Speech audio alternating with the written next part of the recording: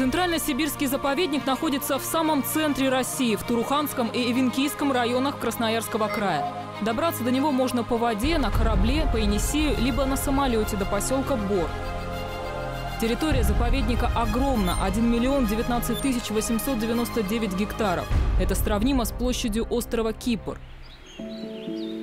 Здесь можно встретить редкие растения, например, саму северную орхидею – калипсо луковичная.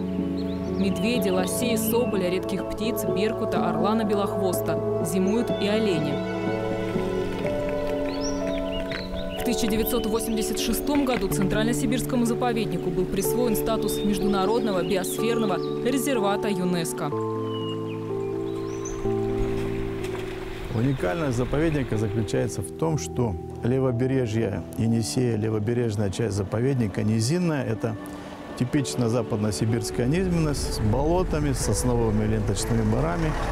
И правобережье – это постепенно уход на восточно-сибирское Нагорье, траповые скалы, выходы магматических пород с большими наносами древних морей. На границе с заповедником живут староверы в поселке Качумдек. Они сохранили традиции предков. Питаются только тем, что вырастили. Не смотрят телевизор, мало общаются с внешним миром. Однако гостей заповедника встречают радушно. Один из местных жителей работает в заповеднике. В поселке Суламай по соседству с заповедником живет народ Кито. Красноярский край практически единственное место на земле, где сохранилось поселение кетов. Несколько десятков человек. Их происхождение – загадка. Существуют десятки версий. Например, что они предки североамериканских индейцев.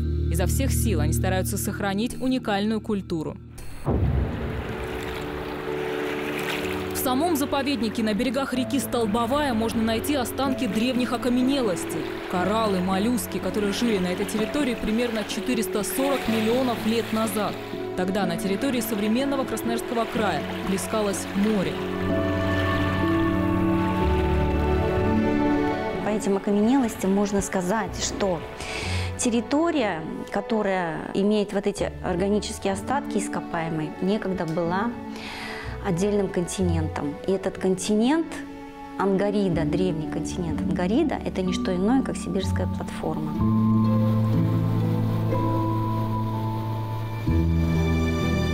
Посетить Центрально-Сибирский заповедник может любой желающий. Сейчас активно развивается познавательный экологический туризм. Для путешествий по заповеднику созданы все условия.